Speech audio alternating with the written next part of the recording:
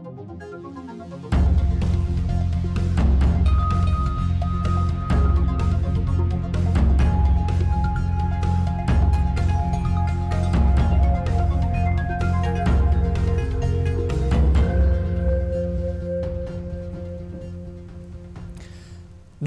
यो हो news twenty four television prime time न्युजमा स्वागत छ। नेपालमाथि भारतको बल मिच्याईको पछिल्लो श्रृङ्खलामा आएको हो। नक्सा प्रकरण।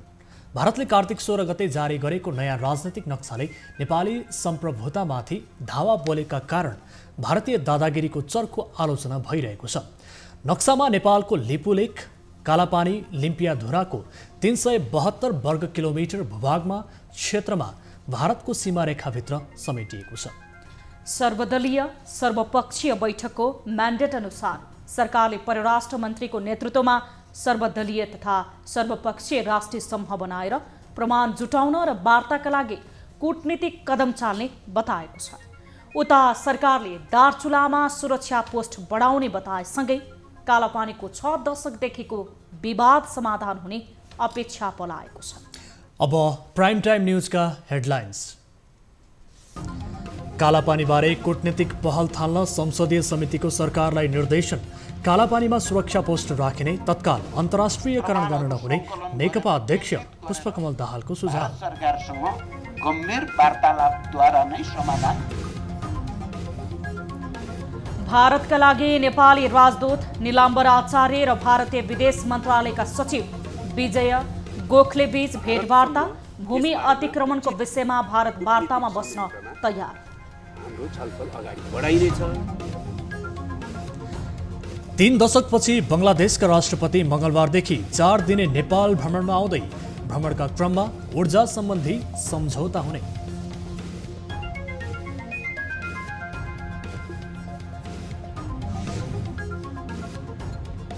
उच्च शुल्क लिने मेडिकल कलेजलाई सरकारको पन्ध्र दिने अल्टिमेटम।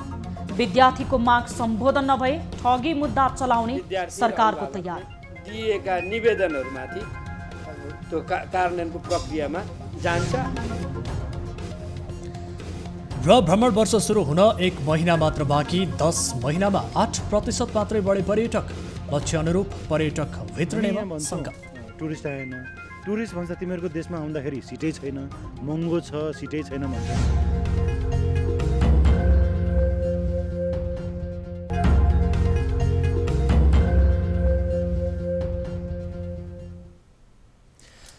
हामी निरन्तर न्युजमा छौँ। कालापानीको विवाद समाधान गर्न संसदीय समितिले सरकारलाई निर्देशन दिएको छ। आज बसेको राज्य व्यवस्था समितिको बैठकमा समितिले सरकारलाई कालापानीमा देखिएको विवाद समाधान गर्न निर्देशन दिएको हो। यस्तै बैठकमा समितिले सरकारको धारणा समेत मागेको थियो। प्रधानमन्त्री केपी शर्मा ओलीलाई बैठकमा बोलाइए पनि प्रधानमन्त्रीको ठाउँमा गृहमन्त्री रामबहादुर थापा पुग्नु भएको थियो। बैठकमा गृहमन्त्री थापाले कालापानीमा सुरक्षा पोस्ट राख्ने तयारी भइरहेको बताउनु भएको थियो। गृहमन्त्री थापाले दार्चुलामा सीमा सुरक्षा बल रहे पनि विवादित भूमिमा सुरक्षा पोस्ट नरह नरहेकाले राख्न लागि बताउनु भयो कालापानीको समस्या छ दशक लामो भएको बताउँदै समस्या समाधानमा सरकार गम्भीर रहेको उहाँको दावी थियो। सीमा सुरक्षा चुस्त पार्ने सरकारको रणनीतिक तयारी भए पनि सीमा सुरक्षामा खताउने सुरक्षाकर्मी अपुग भएको उहाँको भनाइ थियो। मुख्य गरी सीमासित सम्बन्धित सुरक्षाको जिम्मेवारी गृह मन्त्रालयको हो र हामीले यो सन्दर्भमा चाहिँ जुन यो लिम्पियाधुरासित सम्बन्धित यो दार्चुलामा अब हाम्रो सीमा सुरक्षा बल त्यहाँ छ र त्यो विवादित क्षेत्रमा अहिले त्यो छैन। तर चाहिँ त्यो चाहिँ अपुग छ र त्यसलाई विस्तार गर्नुपर्छ भन्ने अहिले गृह मन्त्रालयले योजना बनाएको छ। यस्तै सत्तारूढ नेपाल कम्युनिस्ट पार्टी नेकपाका अध्यक्ष पुष्पकमल दाहालले भारतबाट मिचिएको कालापानी लिपुलेख र लिम्पिया धुराको विषयलाई अन्तर्राष्ट्रियकरण तत्काल गर्न नहुने बताउनु भएको छ। समिति बैठकमा अध्यक्ष दाहालले पहिले वार्तामा ध्यान दिने र त्यसपछि पनि वार्ताबाट समस्या समाधान नहुने देखिएमा मात्रै अन्तर्राष्ट्रियकरण गर्नुपर्ने भनाइराख्नु भएको थियो। दस्तावेजहरूलाई सङ्कलन गरेर यहाँ अब प्रोभोक गरेर पनि हुँदैन यो विषय। हुन्छ नि उत्तेजना फैलाएर समस्याको समाधान हुने पनि होइन। आफ्ना आवाजहरू चाहिँ आफ्नो राष्ट्रिय हितको पक्षमा उठाउँदै लैजाने तथ्य तथ्याङ्क दस्तावेज ऐतिहासिक प्रमाणहरू सङ्कलन गरेर केन्द्रित गरेर भारत सरकारसँग गम्भीर वार्तालापद्वारा नै समाधान गर्नुपर्छ। बैठकमा समितिका सदस्यले सीमा मिचिएको विषयको छलफल कर्मचारी तवरबाट नगरी उच्च स्तरीय राजनैतिक तवरबाट समाधान गर्नुपर्नेमा सरकारको ध्यानकर्षण गराएका थिए। त्यस्तै देशका प्रमुख राजनैतिक दल सीमाविद विज्ञ रहे रहेको संयन्त्र बनाउन सुझाव समेत बैठकमा उठेको थियो। यता परराष्ट्र मन्त्री प्रदीप गेवालीले भारतद्वारा अतिक्रमित कालापानी क्षेत्र फिर्ता गर्ने बारे भारतसँग वार्ता सुरु भइसकेको दावी गर्नुभएको छ। प्रतिनिधि सभाको अन्तर्राष्ट्रिय सम्बन्ध समितिमा परराष्ट्र मन्त्री गेवालीले भारतले नयाँ नक्सामा नेपाली भूमि समेत समेटेको सन्दर्भमा नेपालसँग भएका प्रमाण र नेपालले अब चाल्ने कदमबारे वार्ता सुरु भएको बताउनु भएको हो। उहाँले भारतका लागि नेपाली राजदूत निलाम्बर आचार्यको भेटमा भारत सीमा विवाद सुल्झाउन परराष्ट्र सचिव स्तरीय संयन्त्रको बैठकमा बस्न तयार भएको समेत बताउनुभयो। उहाँले नेपाल भारत संयुक्त आयोगको तेस्रो बैठकमा कालापानी क्षेत्रको विवाद परराष्ट्र सचिव स्तरीय संयन्त्रबाट टुङ्ग्याउने सहमति भइसकेको भन्दै एकपक्षीय ढङ्गबाट भारतले गरेको काम मान्य नहुने दोहोऱ्याउनु भयो।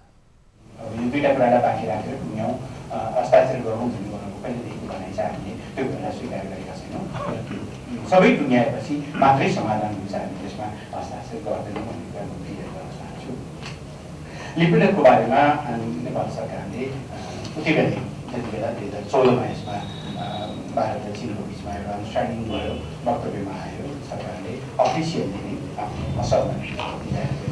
पछाडिका हाम्रा छलफलहरू निरन्तर उठाइ नै रहेका छौँ परराष्ट्र मन्त्री गेवालीले कालापानी क्षेत्र नेपालको भएको भन्दै यो विवादित विषय नै नभएको भन्दै आपत्ति समेत जनाउनु भयो। प्रधानमन्त्री केपी शर्मा ओलीले भारतसँगको सीमा विवाद सुल्झाउन सरकारले गम्भीरताका साथ पहल थालेको बताउनु भएको छ। आज बसेको नेकपा सचिवालय बैठकमा प्रधानमन्त्री ओलीले सचिवालय सदस्यलाई कालापानी लगायत सीमा विवाद सुल्झाउन आफू अग्रसर रहेको बताउनु भएको हो। उहाँले बैठकमा त्यसबारे निष्कर्ष निकाल्ने आश्वासन समेत दिनुभएको थियो। बैठकमा प्रधानमन्त्रीले भारतसँग वार्ता गर्ने प्रस्ताव पेश गरेको प्रवक्ता नारायण काजी श्रेष्ठले जानकारी दिनुभयो। दुईटा देशको बिचको वार्ताका निम्ति आफ्नो आधिकारिक प्रस्ताव तयार गर्ने क्रियाकार्यमा सरकार लागेको छ। त्यो बारेमा प्रधानमन्त्रीले आज पार्टीको बैठकलाई जानकारी पनि गराउनु भएको छ। र अब त्यो आधिकारिक रूपमा प्रमाणहरूको सङ्कलनसहितको हाम्रो प्रस्ताव तयार हुने क्रम सँगसँगै भारतसँग यसबारेमा उचित कुटनीतिक संयन्त्रमा हाम्रो छलफल अगाडि बढाइनेछ। यसअघि शनिबार साँझ प्रधानमन्त्री ओलीले बालुवाटारमा बोलाएको सर्वदलीय बैठकमा भारतले कालापानीलाई आफ्नो नक्सामा राख्नु गम्भीर र दुःखदायीपूर्ण भएको भन्दै त्यो फिर्ताका लागि तत्कालै कूटनीतिक पहल गर्नुपर्नेमा माग उठेको थियो। सत्तरी वर्षदेखि कालापानी आफ्नो भूभाग भएको दावी गर्दै आएको भारतले गत आइतबार आफ्नो राजनैतिक नक्सामा त्यसलाई फेरि समेटेपछि नेपालमा सर्वत्र विरोध भइरहेको छ। यस्तै भारतका लागि नेपाली राजदूत निलाम्बर आचार्यले भारतका विदेश सचिव विजय गोखलेलाई भेटेर सीमा विवादका सन्दर्भमा छलफल गर्नुभएको छ। दिल्ली स्थित नेपाली दूतावासले राजदूत आचार्य र विदेश सचिव गोखले बीच गत शुक्रबार भेट भएको थियो। भारतले कालापानी क्षेत्रलाई आफ्नो नक्सामा राखेर प्रकाशित गरेपछि नेपालमा तीव्र विरोध भइरहेको छ। स्थगित भएको दुई देशको सचिव स्तरीय वार्तालाई पुनः पनि सुरु गर्न नेपाल सरकारले पहल गरिसकेको छ।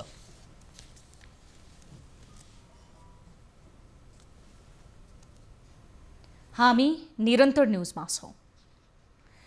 नेपालको भूमि भारतले मिचेपछि सरकारले कूटनैतिक प्रयासबाट समस्याको समाधान खोज्ने भएको छ। संसदको राज्य व्यवस्था समितिमा विभिन्न राजनैतिक दलका सांसदहरूले समेत राजनैतिक र कूटनीतिक माध्यमबाट समस्याको समाधान खोज्नुपर्नेमा जोड दिएका छन्। हाम्रो स्थापित मान्यता नापी विभागबाट प्रकाशित गरेको र प्रमाणित गरेको नक्सा नै नेपालको नक्सा हो भन्ने हाम्रो स्थापित मान्यता हो। तर चलन चल्तीमा के भयो भन्दा सट्ट सट्ट झिक्दाखेरि गुगलबाट पनि झिक्ने त्यो गुगलबाट झिक्ने नक्सा भनेको कतिपय इन्डियाले बनाइदिएको नक्सा पछिल्ला चरणमा हामीले बनाएको नक्सा पनि पर्दैन त्यो कुरा हो कि होइन भन्ने कुरो अब कहाँबाट चेक गर्ने पब्लिकले त्यसरी चेक पनि गरेन। त्यो आधारमा हाम्रा सरकारी कार्यालयहरूमा पनि त्रुटिपूर्ण नक्सा टाँसिए भन्ने कुरामा नै हाम्रो ध्यान आकर्षित भएर हामीले नयाँ नक्सा प्रशासनिक नक्सा सार्वजनिक गऱ्यौँ र त्यो नयाँ नक्सा सार्वजनिक गरिरहँदाखेरि हामीले कालापानी र लिपुलेक नेपालको नक्सामा समावेशै गरेर सार्वजनिक गरेका छौँ। हामी नेपाली सेना पन्चानब्बे हजारको स्ट्रेन्थ ठेक्का पट्टाको लागि भने या त नेपाली सेनाको नाम कन्भर्ट गरौँ कि ठेक्का पट्टा सेना? या त यदि रक्षाको लागि बनाएको छ भने त बोर्डरको रक्षा सीमाको रक्षाभन्दा ठुलो रक्षा के हुन्छ? दुईवटा रक्षा सबभन्दा ठुलो कुरा हो। नेपाली जनताको रक्षा र सीमाको रक्षा भूगोलको रक्षा। भूगोल र जनताको रक्षा सुरक्षा निकायको द प्रथम दायित्व हो।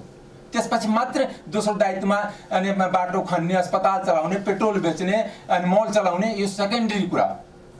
तर सरकार त्यता पनि कहिले पनि गम्भीर देख्दैन। सगरमाथा लगायत उत्तरी सीमा विवाद सन् उन्नाइस सय बयासाठी अगाडि प्रधानमन्त्री बिपी कोइला कोइरालाकै सरकारका पालामा टुङ्गिएको भनेर नेपाली कङ्ग्रेसका साथीहरू भन्नुहुन्छ। लिम्पियाधुरा र काली नदी नेपालको भएको भारतलाई कुनै पनि सरकारले किन थाहा नदिएको होला अहिलेसम्म? थाहा भए नेपालको त्यो भूमि किन भारतले गाभेर नक्सा तयार गर्यो होला?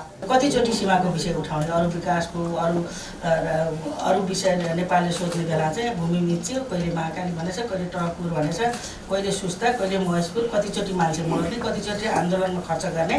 यो अहिले चाहिँ अब यो यत्रो ठुलो एउटा राष्ट्रिय एकताको ऊर्जा भएको बेलामा सरकारले हेर्नुपर्छ सीमालाई चाहिँ नियमित गर्नुपर्छ। भारतको नक्साले नेपालको नेपालको भूभागलाई जसरी त्यहाँ भ्रम पानी सिर्जना गरे म धेरै बुझ्दिनँ म धेरै बोल्दिनँ पनि है यति मात्रै। त्यही बेला अमेरिकाको पनि वक्तव्य आउँछ नेपाल सुरक्षित छैन आतङ्कवादीहरूको आश्रय थलो। अनि भिजिट ट्वेन्टी ट्वेन्टी भनेर देशभरिका संसार आऊ संसारभरिका मान्छे आऊ भनेर पनि बोलाउने। यस्तो खालको वक्तव्य ट्याक्राक दुनियाँ चाहिँ समयकालले एकैचोटि भ्या हो कि त्यो चाहिँ थाहा छैन। भारतले सीमा मिचेको प्रसङ्गमा संसदीय समितिहरूले समेत छलफल थालेका छन्। यति बेला संसदको पूर्ण बैठकको आवश्यकता पनि देखिएको छ। यसै प्रसङ्गमा प्रमुख प्रतिपक्षी दल नेपाली कङ्ग्रेसकी सांसद डाक्टर डिला सङ्ग्रौलाले तत्काल सङ्घीय संसदको हिउँदे अधिवेशन बोलाउन सरकारसँग माग गर्नुभएको छ। उहाँले लिपुलेख कालापानी नेपालकै भूमि भएको प्रस्ताव संसदले पारित गर्नुपर्ने सुझाव दिनुभयो। उहाँको यही भनाई आजको बाइट अफ द डेमा।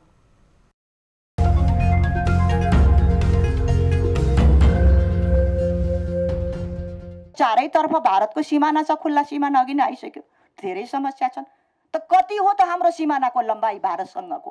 त्यो क्लियर हुनु पर्यो कि परेन? क्लियर गर्नुपर्छ। बेला यही हो। हेपिसक्यो हडपिसक्यो। यो स्वाभिमानमाथि आँच आइसक्यो। त्यसै कारणले गर्दा चाहिँ यो क्लियर हामीले गरौँ।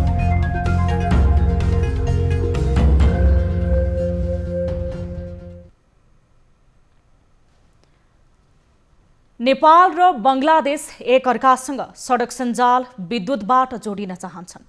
विभिन्न संयन्त्र मार्फत दुई देशबीच छलफलहरू भएका छन्। यी दुई महत्त्वपूर्ण विषयलाई औपचारिकता दिने गरी उच्च स्तरीय भ्रमणको आवश्यकता ठानियो।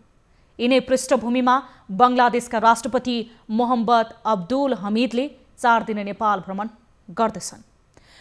बङ्गलादेश स्थापना भएदेखि नै दुई देश बीचको उच्च स्तरीय भ्रमण हुन सकेको छैन।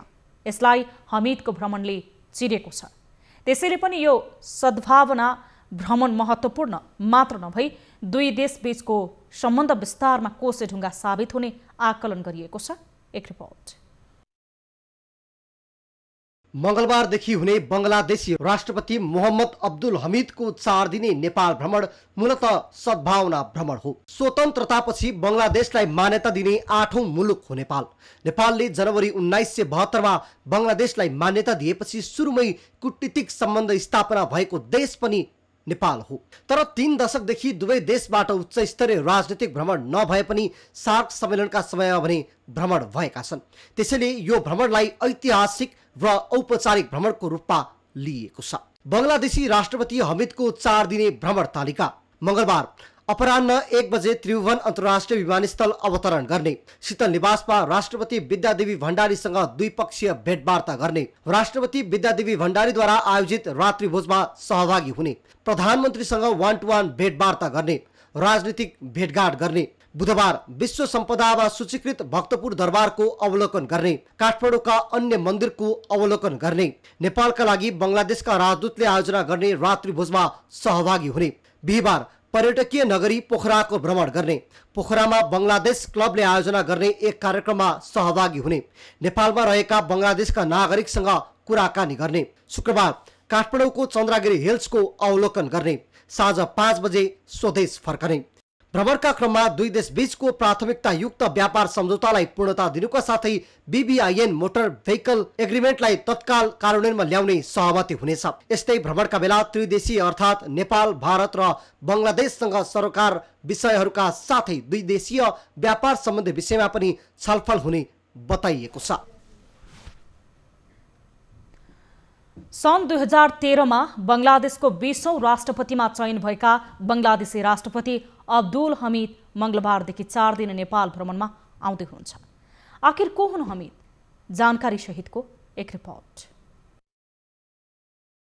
अब्दुल हमिद बङ्गलादेशका बिसौँ राष्ट्रपति हुन् जो सन् उन्नाइस सय चौवालिसमा बेलायती भारतको तत्कालीन बङ्गाल प्रान्तमा जन्मिएका हुन्। किशोरगञ्जको अदालतमा वकिल पेसा गर्दै आएका हमिदले बार एसोसिएसनको अध्यक्ष समेत बनेका थिए। बिसौँ शताब्दीको मध्यमा ब्रिटिस भारतको विभाजन भएपछि इस्ट बङ्गाल पाकिस्तानको हिस्सा बन्यो।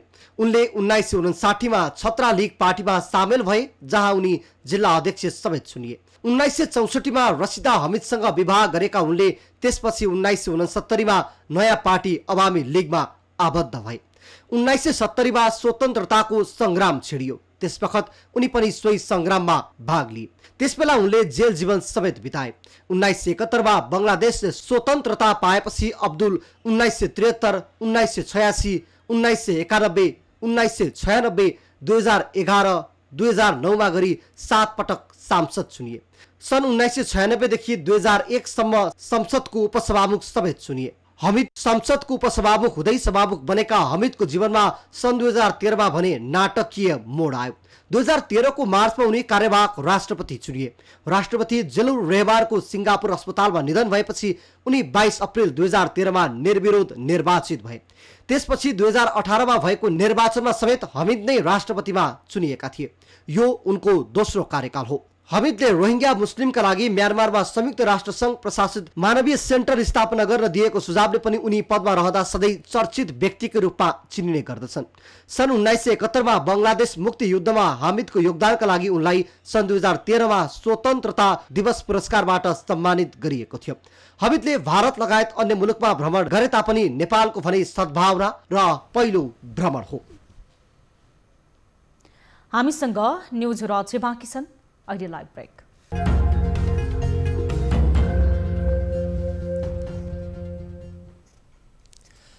हामी निरन्तर न्युजमा छौँ। सत्तारूढ दल नेपाल कम्युनिस्ट पार्टी नेकपाले पार्टी अनुशासन आयोगको अध्यक्षमा अमृत कुमार बोहरालाई चयन गरेको छ। प्रधानमन्त्री निवास बालुवाटारमा बसेको पार्टीको सचिवालय बैठकले बोहरालाई केन्द्रीय अनुशासन आयोगको अध्यक्ष बनाउने निर्णय गरेको हो। बैठकले आयोगको सचिवमा भने अशोक रोकायलाई चयन गरेको भए पनि चयन गरेको पार्टीका प्रवक्ता नारायण काजी श्रेष्ठले जानकारी दिनुभयो। त्यसै गरी बैठकले केन्द्रीय निर्वाचन आयोगको अध्यक्षमा विष्णु पुकार श्रेष्ठ तथा सचिवमा माधव पौडेललाई चयन गरेको छ। आयोगको अध्यक्षमा कमरेड अमृत बोहरा सचिवमा कमरेड अशोक रोकाया रहनुभएको छ। त्यसै गरी केन्द्रीय निर्वाचन आयोगको अध्यक्षमा कमरेड विष्णु पुकार श्रेष्ठ र सचिवमा कमरेड माधव पौडेल रहनुभएको छ। त्यस्तै लेखा परीक्षण आयोगको अध्यक्षमा कमरेड पुष्प कणेल र सचिवमा कमरेड टेकनाथ आचार्य रहनुभएको छ भने केन्द्रीय सल्लाहकार कमिटीको अध्यक्षमा कमरेड केशव बडाल र सचिवमा कमरेड नन्दकुमार थापा रहनुभएको छ र ज्येष्ठ कम्युनिस्ट मञ्चको अध्यक्षमा कमरेड नन्दकुमार प्रसाई र सचिवमा गोविन्द ग्यावली रहनुभएको छ। लेखा परीक्षण आयोगको अध्यक्षमा पुष्प कडेल र सचिवमा टेकनाथ आचार्य केन्द्रीय सल्लाहकार कमिटीको अध्यक्षमा केशव बडाल र सचिवमा नन्दकुमार थापा तथा ज्येष्ठ कम्युनिस्ट मञ्चको अध्यक्षमा नन्दकुमार प्रसाई र सचिवमा गोविन्द गेवालीलाई चयन गरिएको छ। बैठकमा पार्टीको प्रवास कमिटी गठन नगरे नगर्ने तर त्यसको विकल्प खोजी गर्ने निर्णय पनि गरेको पार्टीका प्रवक्ता नारायण काजी श्रेष्ठले जानकारी दिनुभयो। अब हेल्थ न्युज।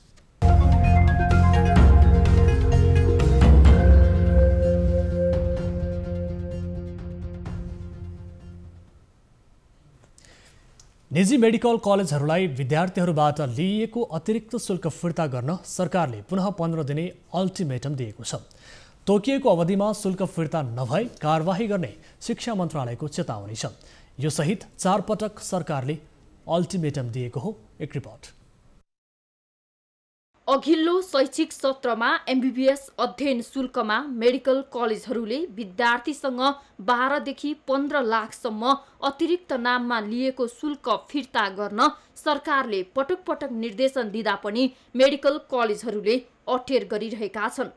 अहिलेसम्म चार पटकसम्म सरकारी तवरबाट अल्टिमेटम र निर्देशन दिएको छ। यसपटक भने अन्तिम अल्टिमेटम भनिएको छ। सोमबार शिक्षा मन्त्री गिरिराज मणि पोखरेलले शुल्क बढी लिएका मेडिकल कलेजलाई अन्तिम अल्टिमेटम दिँदै पन्ध्र दिनभित्र शुल्क फिर्ता नगरे ठगी मुद्दा चलाइने बताएका छन्। ऐन कार्यान्वयन र क्याबिनेटले गरेका निर्णयको सन्दर्भमा हामी एकदमै आफ्नो भूमिका पनि हामी खेलिरहेका छौँ सबैलाई आफ्नो भूमिका खेल्न पनि आग्रह गरेका छौँ। अब यो आग्रह गरिसकेपछि उहाँहरूले मिलाउनु भएन भनेदेखि निश्चित रूपमा विद्यार्थी र अभिभावकले दिएका निवेदनहरूमाथि अब त्यो का कार्यान्वयनको प्रक्रियामा जान्छ। हामीले आजै अहिले तपाईँहरूलाई हामीले सार्वजनिक गऱ्यौँ। आजै अहिले हाम्रो गृह मन्त्रालयलाई अनुरोध पत्र जान्छ। यसैबीच अतिरिक्त शुल्क फिर्ता नभएको विरोधमा आन्दोलनरत विद्यार्थीहरूले चितवन मेडिकल कलेज र युनिभर्सल कलेज अफ मेडिकल साइन्समा तालाबन्दी गरेका छन्। चितवन मेडिकल कलेजले चाहिँ त्यस अनुरूप चाहिँ सिडिओको जिल्ला प्रशासन प्रमुखको अगाडि चाहिँ हामी फिर्ता गर्छौँ समायोजन गर्छौँ भनेर उठेको। र त्यसको चाहिँ तिस दिनपछि यानि कि कार्तिक अठार गतेसम्म पनि हाम्रो न त एक रुपियाँ फिर्ता गरेको न त एक रुपियाँ समायोजन गरेको भएको कारणले गर्दाखेरि चाहिँ हामी तालाबन्दी लाउन विवश भएका हौँ। र एउटा चाहिँ जनमानसमा चाहिँ एउटा चितवन मेडिकल कलेजले चाहिँ आँखामा छारो हाल्ने काम गराएको छ। चिकित्सा शिक्षा सङ्घर्ष समितिको अगुवाईमा बढी शुल्क लिएर फिर्ता नगर्ने मेडिकल कलेजहरूमा तालाबन्दी गरिएको विद्यार्थीहरूले बताएका छन्। के भएको छ भन्दा माफियाहरूको मा जुन यो हामीले चाहिँ माफियाहरूको विरुद्ध गरेको आन्दोलनलाई चाहिँ उनीहरूले माफियाहरूको पक्षमा लगेर राखिदिएको छ क्या जस्तै विभिन्न हेडिङहरू लिएर आउने थप्ने होइन? त्यसपछि गएर विद्यार्थीको विरुद्धमा चाहिँ गरेको छ। यो कुनै पनि विद्यार्थीहरूलाई मान्ने हुने छैन। जबसम्म हाम्रो पैसा फिर्ता हुँदैन समायोजन हुँदैन हामी विद्यार्थीहरू सङ्घर्ष गर्न रोकिँदैनौँ। शिक्षा मन्त्रालयले विद्यार्थीहरूले पन्ध्र दिनभित्र रकम नपाए सम्बन्धित जिल्ला प्रशासन कार्यालयमा उजुरी दिन भनिएको छ। प्रशासन कार्यालयलाई ठगी मुद्दा अघि बढाउन सरकारले अनुमति दिएको छ। मेडिकल कलेजले अतिरिक्त शुल्कको नाममा लाखौँ रकम लिने र सरकारले पटक पटक निर्देशन दिए पनि फिर्ता नगर्ने र अटेरी गरेको भन्दै यस वर्ष मात्र पचासौँ पटक मेडिकल विद्यार्थी आन्दोलनमा उत्रिएका छन्। Chitwan medical college universal medical college Bhairahawa Gandaki medical college national medical college वीरगन्जले मापदण्ड विपरीत बढी शुल्क असुलेको विरोधमा वर्षभरि नै विद्यार्थी आन्दोलित छन्। सरकारले नेपाल भ्रमण वर्ष दुई हजार बिसमा बिस लाख पर्यटक नेपाल भित्राउने लक्ष्य लिएको छ। तर सन् दुई हजार उन्नाइसको अक्टोबर महिनासम्मको तथ्याङ्क हेर्दा उक्त लक्ष्य पुरा हुनेमा शङ्का सुरु भएको छ। सरकारले लिएको लक्ष्य पुरा हुन सन् दुई हजार अठारको तुलनामा सन् दुई हजार उन्नाइसमा करिब एकतिस प्रतिशतले पर्यटक आगमन बढ्नुपर्ने हुन्छ। तर अक्टोबर महिनासम्म जम्मा आठ प्रतिशतले मात्र वृद्धि भएको छ। एक रिपोर्ट। सन् दुई हजार अठारमा करिब एघार लाख तिहत्तर हजार पर्यटक नेपाल आएका थिए। सरकारले लिएको लक्ष्य पुरा गर्न सन् दुई हजार उन्नाइसमा करिब पन्ध्र लाख छत्तिस हजार पर्यटक नेपाल आउनुपर्ने हो। तर दुई हजार उन्नाइसको अक्टोबर महिनासम्म नौ लाख पचहत्तर हजार पाँच सय सन्ताउन्न पर्यटक मात्रै नेपाल आएका छन्। सरकारले लिएको लक्ष्यभन्दा वृद्धि दर करिब चार गुणाले कम छ। डेङ्गुको प्रकोप विमानस्थल छ सात घन्टा बन्द हुनु लगायतका कारणले लक्ष्य अनुसार पर्यटक नआएको नेपाल पर्यटन बोर्डको भनाइ छ। इन्टरनेसनल एयरपोर्ट र मर्मतको लागि बन्द छ। दैनिक सात आठ घन्टा जति बन्द छ। जसले गर्दाखेरि चाहिँ जति फ्लाइट हुनुपर्ने हो त्यति इन्टरनेसनल फ्लाइटहरू चाहिँ नेपालमा आउनु नसकिरहेको अवस्था छ। साथसाथै अब जेट एयरवेजको हाम्रो दिनको दैनिक तिनवटा फ्लाइट थियो यहाँ। त्यो फ्लाइट घट्यो। अब एउटा फ्लाइटमा तपाईँको चाहिँ नि कम्तीमा पनि एक सय पच्चिस तिसजना मात्रै एकदम लो हिसाबमा गरे तापनि झन् तिन चार सयजना मान्छेहरू चाहिँ दैनिक जुन आउँथे त्यो पनि घट्यो। त्यो दुइटा मुख्य कारण। र पछिल्लो समयमा हाम्रो एक डेढ महिना अगाडि चाहिँ यहाँ नेपालमा डेङ्गीको चाहिँ नि अलिकति बारेमा न्युज आयो। नेपाल आउने अन्तर्राष्ट्रिय जहाजहरू पर्याप्त नहुनु अर्को समस्या हो। सरकारले पूर्वाधार निर्माण गर्न सक्रियता नदेखाउनु पनि अर्को कारण भएको पर्यटन व्यवसायको निष्कर्ष छ। एउटा चाहिँ नम्बर्सको कुरा आयो। त्यो नम्बर्सलाई ल्याउने क्यारिङ क्यापेसिटी जुन हामी भन्छौँ अहिले अहिले हेऱ्यो भने सिजनमा तपाईँको एयरलाइन्समा सिटै छैन। हामी यहाँ भन्छौँ टुरिस्ट आएन। टुरिस्ट भन्छ तिमीहरूको देशमा आउँदाखेरि सिटै छैन महँगो छ सिटै छैन भन्छन्। प्रचार प्रसारसँगै वैकल्पिक विमानस्थल सहित अन्य पूर्वाधार निर्माण हुन नसके सरकारले लिएको लक्ष्य पुरा गर्न चुनौती हुने पर्यटन विभागको स्वीकारोक्ति छ। रोडको कनेक्टिभिटीको कन्डिसनमा हाम्रो चाहिँ अब सुधारका काम चाहिँ भइरहेको छ। होइन जस्तो मेची अथवा चाहिँ भनौँ भैरवा अथवा वीरगञ्ज यो ठाउँमा चाहिँ विभिन्न किसिमको कनेक्टिभिटी सुधार गर्ने कामहरू चाहिँ भइराखेका छ। स्टिल यो चाहिँ हाम्रो टार्गेटेड छैसठी प्रतिशतको पर्यटकको आगमन वृद्धि गर्ने लक्ष्य चाहिँ चुनौती पर्यटन भित्राउन सरकारले पूर्वाधार निर्माण मात्र होइन विशेष योजनालाई तीव्रता दिनुपर्ने कतिपयले सुझाव दिएका छन्। क्यामेरामा माधव प्रसाद घिम्रेको साथमा टिभी जर्नलिस्ट प्रशान्त ठाकुरको रिपोर्ट। अब बिजनेस न्युज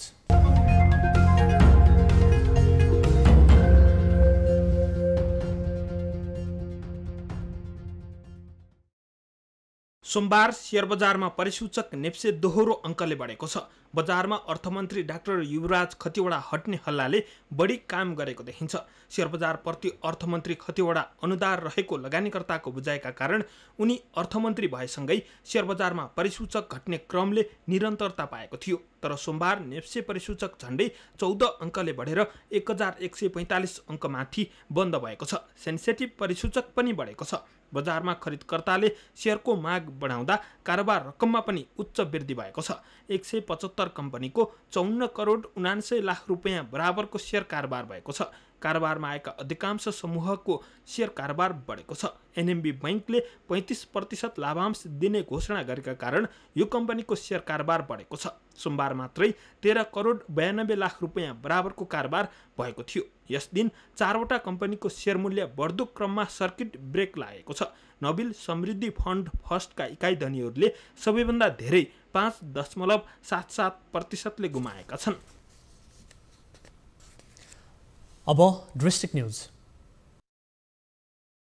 काभ्रेको बनेपाबाट भकुण्डे बेसी जाँदै गरेको बस दुर्घटना भएको छ। काभ्रेको नमोबुद्ध नगरपालिका वडा नम्बर दुईमा यात्रुवाहक बस दुर्घटना भएको हो। बसमा पच्चिस जना यात्रु रहेको र दुर्घटनामा परि बसमा सवार सबै यात्रु घाइते भएका छन्। बनेपाबाट भकुण्डे बेसीतर्फ जाँदै गरेको बा चार ख तेत्तिस उन्नाइस नम्बरको बस नमोबुद्ध दुई बेलामा दुर्घटना भएको थियो। घाइतेहरूलाई उपचारका लागि जिल्ला अस्पताल धुलीखेल ल्याइएको छ। बस सडकबाट करिब एक सय पचास मिटर तल खसेको हो। समयमै सडक निर्माण कार्य सम्पन्न नगरेको भन्दै सुनसरीको इनरवाका स्थानीय आन्दोलित भएका छन्। धुलो र धुवाले जनजीवन ग्रस्त हुनुका साथै जीर्ण छाडिएको सडक निर्माण कार्यले लामो समय बित्दा समेत पूर्णता नपाएको भन्दै इनरवाका स्थानीय आन्दोलित बनेका हुन्। उनीहरूले इनरवाको भित्री बजार क्षेत्रको सडक खण्डमा अवरोध गरी खबरदारी समेत गरेका छन्। स्थानीय आन्दोलित बनेपछि जिल्लाको दक्षिणी भेगलाई सदरमुकाम इनरवासम्म जोड्ने मुख्य सडक मार्गमा सवारी साधन सञ्चालनमा आउन सकेनन्। सडक निर्माणको जिम्मा पाएको रमन कन्स्ट्रक्सनले लापरवाही गरेको र जनप्रतिनिधिको समेत व्यवस्थाका कारण आफूहरूले शास्ति झेल्नु परेको स्थानीयको भनाइ छ। प्रदेश नम्बर एक सरकारले प्रदेशभरिका मानसिक अपाङ्गता भएका मानिसहरूको उद्धार कार्य सुरु गरेको छ। सामाजिक विकास मन्त्री जीवन घिमिरेले प्रदेशमा मानसिक अपाङ्गता भएको मानिसको उद्धार प्रदेश सरकारको नीति तथा कार्यक्रम अनुरूप थालिएको जानकारी दिनुभयो। मन्त्री घिमिरेले मोरङको रतुवामाई नगरपालिका दामरा भिट्टा आठका छ्यालिस वर्षीय दिनेश तिमसिनालाई उद्धार गर्नुभएको छ। न्युजहरू अझै बाँकी छन्। अहिलेलाई ब्रेक।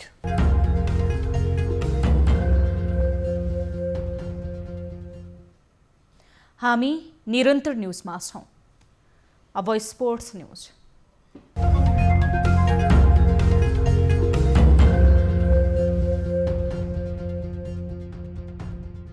बङ्गलादेशमा जारी Asian volleyball confederation AVC central zone senior महिला भलिबल च्याम्पियनसिपमा नेपालले लगातार दोस्रो जित निकालेको छ। ढाकामा सोमबार भएको खेलमा किर्गिस्तानलाई तीन शून्यको सोझो सेटमा पराजित गर्दै नेपालले लगातार दोस्रो जित हात पारेको हो। सहित सुहारावर्दी इन्डोर स्टेडियममा नेपालले किर्गिस्तानलाई पच्चिस पन्ध्र पच्चिस उन्नाइस र पच्चिस बिसको सेटमा पराजित गर्यो। जितसँगै नेपालले दुई खेलबाट छ अङ्क जोडेको छ यसअघि नेपालले पहिलो खेलमा अफगानिस्तानलाई तिन शून्यको सोझो सेटमा पराजित गरेको थियो।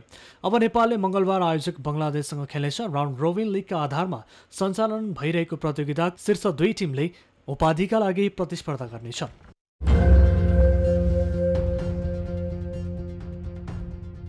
अन्तर्राष्ट्रिय क्रिकेट परिषदले सोमबार जारी गरेको नयाँ टी ट्वेन्टी वरियतामा नेपालको वरियता सुधारिएको छ। यसअघि तेह्रौँ स्थानमा रहेको नेपाल स्कटल्यान्डलाई पछि पार्दै बाह्रौँ स्थानमा उक्लिएको हो। आइसिसीले सार्वजनिक गरेको नयाँ वरियतामा नेपालले एक्काइस खेलबाट एक सय उनानब्बे रेटिङ पाएको छ। वरियता क्रममा पाकिस्तान शीर्ष स्थानमा छ भने अस्ट्रेलिया दोस्रो इङ्ल्यान्ड तेस्रो दक्षिण अफ्रिका चौथो र भारत पाँचौँ स्थानमा छन्। त्यस्तै न्युजिल्यान्ड छैटौँ स्थानमा रहँदा श्रीलङ्का सातौँ अफगानिस्तान आठौँ बङ्गलादेश नवौँ वेस्ट इन्डिज दसौँ र जिम्बाब्वे एघारौँ स्थानमा छन्। टोलीको वरियता सुधारिए पनि खेलाडीको वरियता भने खस्केको छ। टी ट्वेन्टी क्रिकेटको खेलाडी वरियतामा नेपालका पूर्व कप्तान पारस खड्का र सन्दीप लामिछानेको वरियता खस्किएको हो। ब्याटिङको नयाँ वरियतामा पारस पचपन्नौ स्थानमा झरेका छन्। यसअघि उनी ब्याटिङतर्फ पैँतालिसौँ स्थानमा थिए यस्तै पारसको अलराउन्डर वरियता समेत घटेको छ।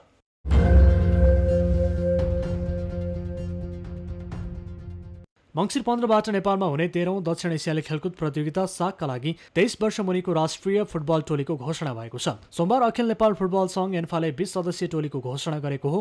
मुख्य प्रशिक्षक बाल गोपाल महर्जनले घोषणा गरेको टोलीमा सिनियर टिमका विकेश कुथु विक्रम लामा र सुजल श्रेष्ठ परेका छन्। तेइस वर्ष मुनिको खेलाडीले प्रतिस्पर्धा गर्ने सागमा तीनजना सिनियर खेलाडी राख्ने प्रावधान अनुसार सिनियर खेलाडीलाई टोलीमा समावेश गरिएको एन्फाले जनाएको छ।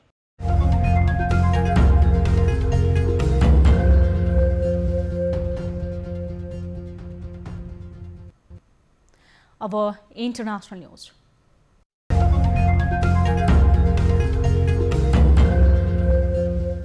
बङ्गलादेश र भारतको तटीय क्षेत्रमा बुलबुल नाम दिएको सामुद्रिक आँधीका कारण मृत्यु हुने व्यक्तिको संख्या बिस पुगेको छ। आँधी प्रभावित बिस लाख भन्दा बढी व्यक्तिलाई अस्थायी शिविरमा राखिएको छ। करिब एक सय बिस किलोमिटर प्रति घण्टाको गतिमा भारतको पश्चिम बङ्गालबाट बङ्गलादेशको उत्तर पूर्वी क्षेत्रतर्फ आएको आँधीका कारण दुवै देशका बन्दरगाह र विमानस्थल बन्द गरिएको छ। बुलबुलबाट भारतको पश्चिम बङ्गाल राज्यमा दस जनाको मृत्यु भएको प्रेस ट्रस्ट अफ इन्डिया पिटिआईले जनाएको छ। अन्य दुईजनाको ओडिसा राज्य नजिकै मृत्यु भएको छ। बङ्गलादेशमा कम्तीमा आठ जनाको मृत्यु हुनुका साथै अन्य बीस घाइते भएका छन्। बुलबुलबाट प्राय माटो र जस्ता पाताले बनाएका करिब चार हजार घरमा क्षति पुगेको छ। टर्कीले रुसी मिसाइल खरिद गरेपछि अमेरिका रुष्ट भएको यहाँका अधिकारीहरूले जनाएका छन् जसका कारण अकरामाथि अमेरिकाले प्रतिबन्ध लगाउन सक्ने अन्तर्राष्ट्रिय मिडियाले उल्लेख गरेका छन्। टर्कीले यसअघि नै Russian S four hundred antiaircraft system खरिद गरेको थियो जुन प्रविधिलाई अमेरिकाले नाटो सुरक्षासँग नमिल्दो र एफ थर्टी फाइभ फाइटर जेटका लागि चेतावनी दिएको रूपमा व्याख्या गरेको छ। इराकमा सरकार विरुद्धको प्रदर्शन हिंसात्मक बनेपछि अमेरिकाले समय अगावै संसदीय निर्वाचन गर्न इराकी अधिकारीलाई सुरक्षा दिएको छ। इराकमा निर्वाचनको माग गर्दै यहाँका नागरिकले आन्दोलन गरिरहेका छन्। सो आन्दोलनमा हिंसात्मक भएकाले प्रहरी कारवाहीमा प्रदर्शनकारीले ज्यान पनि गुमाएका छन्। उनीहरूले निर्वाचनको माग गरेर आन्दोलन गरेकाले आन्दोलनकारीहरूले माग पूरा गर्न समय अगावै आम निर्वाचन गर्न अमेरिकाको आग्रह रहेको छ। हिंसा पनि रोकिने भन्दै हिंसात्मक गतिविधिको नियन्त्रणका लागि पनि निर्वाचन आवश्यक रहेको अमेरिकाले माग गरेको छ। निर्वाचन मार्फत आन्दोलनकारीको माग पूरा गरी शान्तिपूर्ण राजनीतिक व्यवस्थापन गर्न अमेरिकाले माग गरेको हो। अमेरिकी राष्ट्रपतिको कार्यालय व्हाइट हाउसले प्रकाशन गरेको विज्ञप्तिमा भनिएको छ अमेरिका इराकमा त्यहाँका राष्ट्रपति बराहाम सालेहको यसअघिको प्रतिबद्धता पनि पूरा गर्न माग गर्दछ।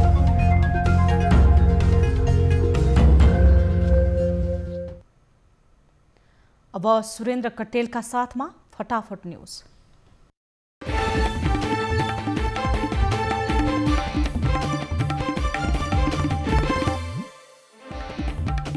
कालापानीबारे कुटनीतिक पहल थाल्न संसदीय समितिको सरकारलाई निर्देशन। कालापानीमा सुरक्षा पोस्ट राखिने तत्काल अन्तर्राष्ट्रियकरण गर्न नहुने नेकपा अध्यक्ष पुष्पकमल दाहालको सुझाव। भारतसँग नेपालको अतिक्रमित भूमिका विषयमा छलफल गर्न प्रस्ताव तयार गरिँदै समस्या समाधान हुने प्रधानमन्त्रीको आश्वासन। भारतका लागि नेपाली राजदूत निलम्बर आचार्य र भारतीय विदेश मन्त्रालयका सचिव विजय गोखलेबीच भेटवार्ता भूमि अतिक्रमणका विषयमा भारत वार्तामा बस्न तयार। हत्या आरोपमा पक्राउ परेका मोहम्मद अफ्ताब आलमको मुद्दामा थुन्चेक बहस सकिएन पीडितले बयान फेर्दा अदालती प्रक्रियामा समस्या। बङ्गलादेशका राष्ट्रपति अब्दुल हदिम चार दिने नेपाल भ्रमणमा भोलि नेपाल आउँदै मोटर भेहिकल र ऊर्जा व्यापार सम्बन्धी सम्झौता हुने। काभ्रेको बनेपाबाट भकुण्डे जाँदै गरेको बस दुर्घटना तिसजना घाइते। नयाँ आउने खानेपानी ऐनले धेरै किसिमका विवादहरू हल गर्ने खानेपानी मन्त्री बिना मगरको भनाई आयोजनाहरू छिटो सम्पन्न हुने विश्वास व्यक्त। भारतसँगको सिमाना विवाद कुटनीतिक ढङ्गले समाधान गर्नुपर्ने नेकपा नेता झलनाथ खनालको भनाई सिमाना रक्षा गर्ने संयन्त्र पर्याप्त नरहेको जिकिर। शुल्क फिर्ता नगर्ने मेडिकल कलेजलाई सरकारको पुनः अल्टिमेटम सरकारको निर्णय नमान्ने मेडिकल कलेजका सञ्चालकलाई ठगी मुद्दा लगाइने। लुम्बिनी भ्रमणमा आउने चिनिया पर्यटक बढ्दै राष्ट्रपति सी जिनपिङको भ्रमणको कारण अझै बढ्ने अपेक्षा। बङ्गलादेशमा जारी Asian volleyball confederation AVC central zone महिला भलिबलमा नेपालको दोस्रो जित। किर्गिस्तान तिन शून्यको सोझो सेटमा पराजित। र बुलबुल नाम दिएको सामुद्रिक आँधीका कारण बङ्गलादेश र भारतमा करिब बिसजनाको मृत्यु बिस लाख बढी अस्थायी शिविरमा।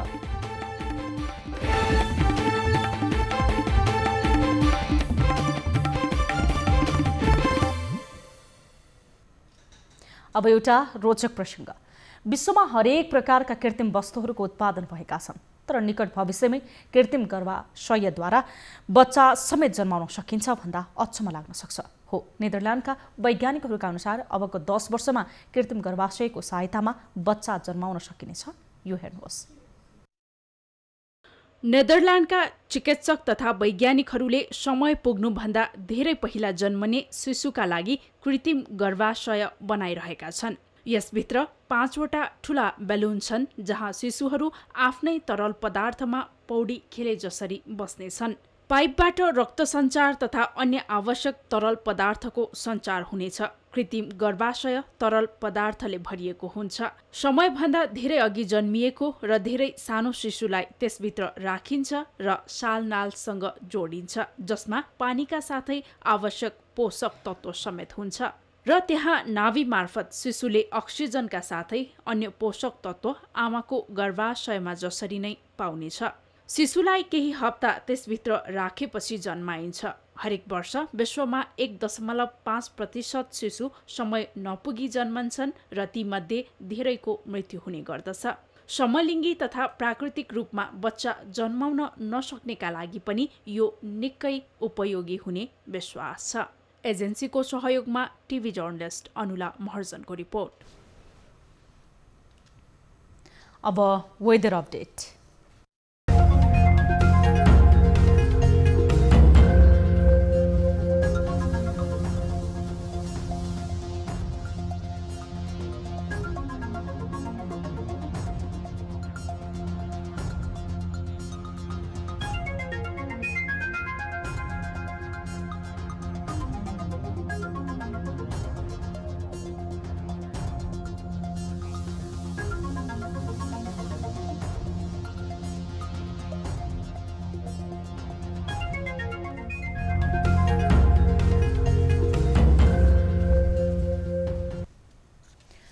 Prime time news सक्नु अघि अहिलेसम्मका हेडलाइन्स पुनः एकपटक कालापानीबारे कुटनीतिक पहल थाल्न संसदीय समितिको सरकारलाई निर्देशन कालापानीमा सुरक्षा पोस्ट राखिने तत्काल अन्तर्राष्ट्रियकरण गर्न नहुने नेकपा अध्यक्ष पुष्पकमल दाहालको सुझाव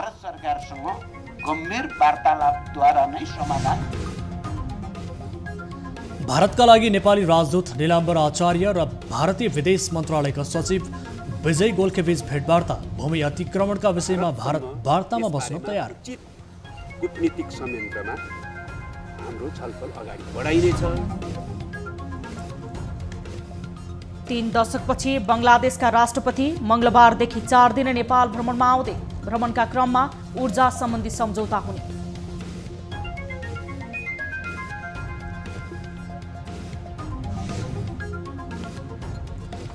उच्च शुल्क लिने मेडिकल कलेजलाई सरकारले सरकारको पन्ध्र दिने अल्टिमेटम। विद्यार्थीको माग सम्बोधन नभई ठगी मुद्दा चलाउने सरकारको तयारी। दिएका निवेदनहरूमाथि त्यो कार्यान्वयनको प्रक्रियामा जान्छ। र भ्रमण वर्ष सुरु हुन एक महिना मात्र बाँकी दस महिनामा आठ प्रतिशत मात्रै बढे पर्यटक। लक्ष्य अनुरूप पर्यटक टुरिस्ट आएन। टुरिस्ट भन्छ तिमीहरूको देशमा आउँदाखेरि सिटै छैन महँगो छ सिटै छैन भन्छ।